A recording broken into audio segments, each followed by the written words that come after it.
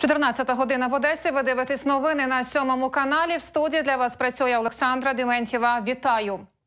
У центрі Одеси палав житловий будинок. Зайнялось горище лівого флігеля будівлі на Ніжинській 59. Усіх мешканців оперативно евакуювали. Загасити пожежу вдалося протягом години після прибуття рятувальників. Вогонь охопив 80 квадратних метрів. Обійшлося без постраждалих. Що саме стало причиною займання, поки з'ясовують фахівці. За словами місцевих, горище було дуже захаращене. А в комунальній квартирі на останньому поверсі жили неблагополучні мешканці. Как сказали соседи, наркоманы там жили. И кто-то из них постоянно пытался э, залезть на чердак, э, что-то там посмотреть. Это, опять же, как говорят в Одессе, могут быть просто рассказы. У нас информация следующая, что, э, слава богу, ни один человек не пострадал. Очень оперативно вовремя всех людей вывели из дома. Бегом выскочили, вы- нам сказали, чтобы выходили. Да, мне в окно на улице постучал пожарник выйти. Я вз- взяла документы и вышла. Мешканцям рекомендували переночувати в іншому місці. Якщо людям нікуди було йти, житло мала забезпечити міська влада. Пасажирів з Китаю та з країн ризику зараження коронавірусом ретельно перевірятимуть в одеському аеропорту. Про це повідомили на засіданні комісії з питань техногенно-екологічної безпеки та надзвичайних ситуацій. Зазначу, прямого сполучення з Китаєм в аеропорту Одеса немає. Пасажири летять через Стамбул. Ця категорія громадян, які прибувають е, з Китаю через е, Туреччину, Стамбул до Одеси, звертаємо на них увагу. Працюємо е, в секторі приліт разом з лікарем. Е, На цей персонал, який здійснює прикордонний контроль такої категорії осіб, забезпечені спеціальними стерильними рукавичками, е, масками і на окремій кабіні здійснюють їх е, контроль.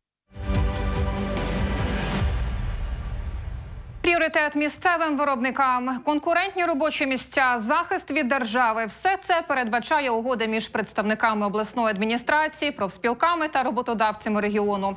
Документ, що регулюватиме відносини між бізнесом та владою протягом наступного року, підписали сьогодні усі три сторони.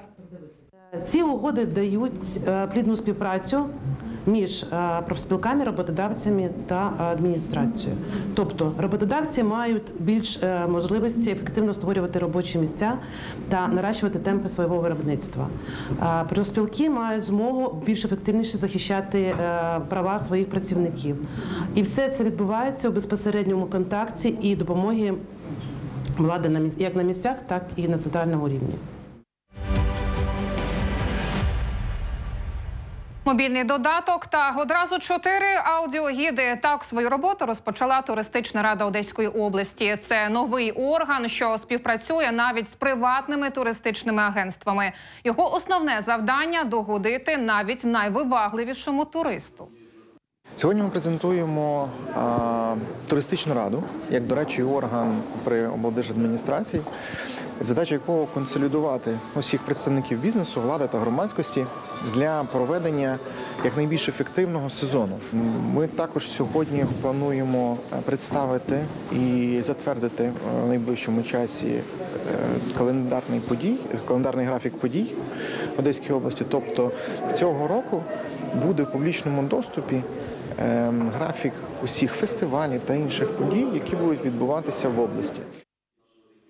Саме на області туристична рада планує зробити акцент, щоб привабити до маловідомих цікавинок якнайбільше туристів. Э, Ряд усилий направлен на, на то, чтобы привлекать э, не только в город Одессу, но и в область. То есть, потому что в город, если э, забит летом туристами, то в области с этим немножко похуже. И мы хотим качественного туриста привлечь. Поэтому я надеюсь, что это одно из действий, которое поможет. Мы готовы. Готовы ли те а, небольшие э, поселки или города а, нас принимать? Это второй вопрос. Но мы готовы.